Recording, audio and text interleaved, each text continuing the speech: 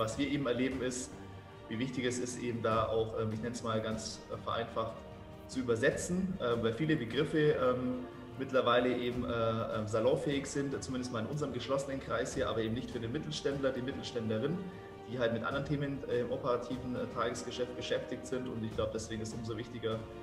dass eben viele, ob jetzt über Konferenzen, Expertinnen und Experten, aber auch Gründungszentren, wie wir es sind, eben dann weitergleisten, einfach da